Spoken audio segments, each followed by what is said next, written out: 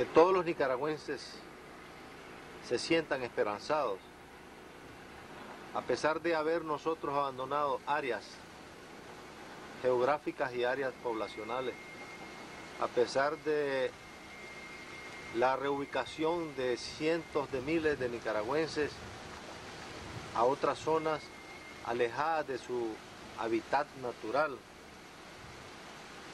El apoyo del pueblo, ahora que estamos reiniciando esta ofensiva, se ha mantenido y en algunas áreas no solo se ha mantenido, sino que es mucho mayor.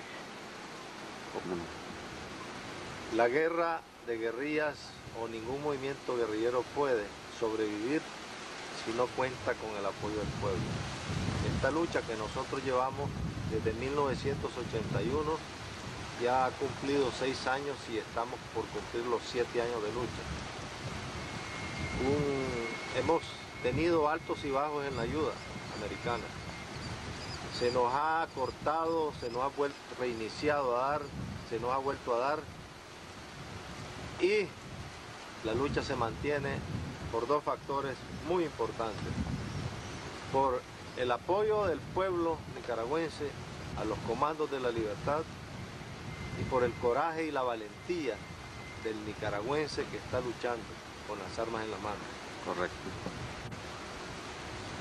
¿Qué porcentaje, coronel, este, tiene el del pueblo ahora mismo de el apoyo para la SDN? Consideramos que eh, solo a un 20%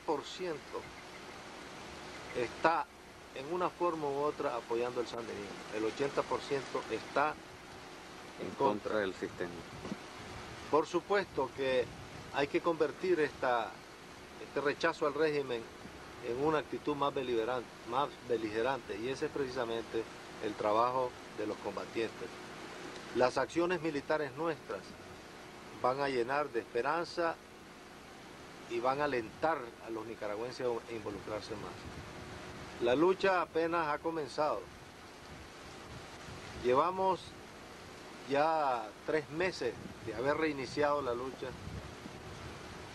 En octubre del año pasado nosotros teníamos 60 acciones mensuales. Ahora estamos teniendo 60 acciones de combate, choques de diferentes índoles, semanales. Estamos ya llegando casi a los 300 combates mensuales. Esta cifra va a sobrepasar. El desgaste que genera 300 combates en diferentes partes del territorio nicaragüense mensuales.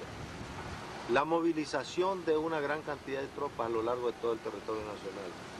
Y la presión sobre el régimen sandinista es de tal forma pues que en las condiciones que se encuentra el régimen sandinista actualmente, de primero un caos económico, la escasez de alimentos, la escasez de los artículos de primera necesidad, más el repudio del pueblo nicaragüense, más el, aislamiento internacional que ha comenzado en Centroamérica y va a continuar en el resto de países de América Latina y en Europa, eh, creemos pues que el régimen sandinista va a llegar, si la lucha se mantiene, si conseguimos el apoyo que hemos recibido y, y ese apoyo se continúa, no creemos que el régimen sandinista pueda aguantar más de dos años.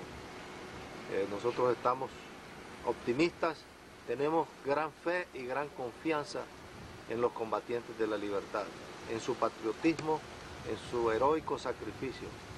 Y lo mejor que puede hacer el exilio nicaragüense es darle su respaldo a este movimiento que ha llevado la lucha por casi siete años cumplidos, heroicamente en contra de todas las fuerzas del comunismo internacional, prácticamente eh, solos con su patriotismo, solos con su coraje y su valentía. Eh, creo que es el momento de que los nicaragüenses eh, den el apoyo y apoyen moralmente a los combatientes.